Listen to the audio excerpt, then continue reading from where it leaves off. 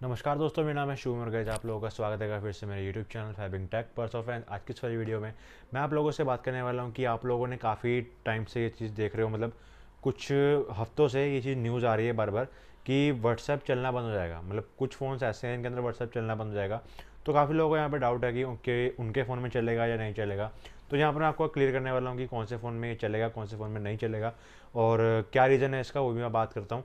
तो सिंपली जहाँ पर आप जो भी न्यूज़ देख रहे हो, वहाँ पर सिंपली एक चीज़ देखिए लिखी हुई है कि जो भी व्हाट्सएप की जो सिक्योरिटी पॉलिसी होती है, कि आजकल जैसे आप लोग देखते हो कि व्हाट्सएप कुछ ना कुछ पे व्हाट्सएप पे कुछ ना कुछ होता रहता है।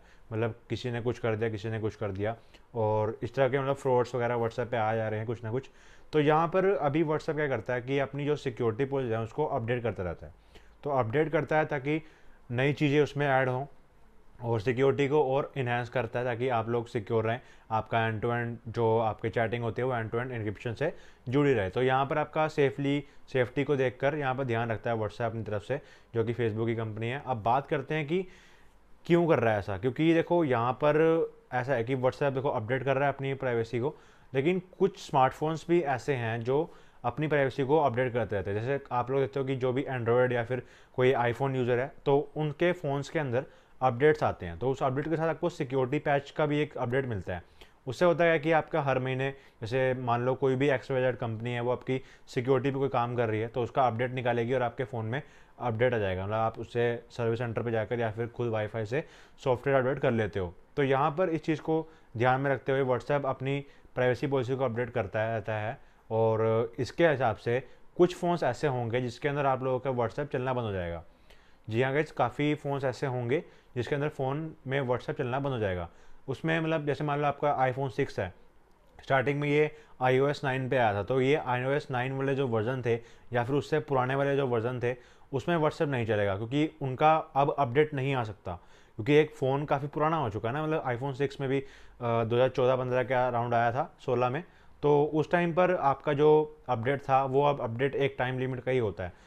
अब उसका अपडेट नहीं आ सकता सिक्स का तो यहाँ पर वो उस चीज़ पे एक अटक चुका है। मतलब कि वो इस वर्जन पे अटक चुका है, अगर वो इस वर्जन में है मतलब मान लो आपका आई ओ एस थर्टीन में है या फिर फोर्टीन में आ चुका है या फिर ट्वेल्व में है तो उसमें आपका व्हाट्सअप चलेगा। अगर वो नाइन या नाइन से पीछे वाले वर्जन पे है तो उसमें व्हाट्सअप नहीं चलेगा, क्योंकि उसमें अपडेट नहीं आएगा।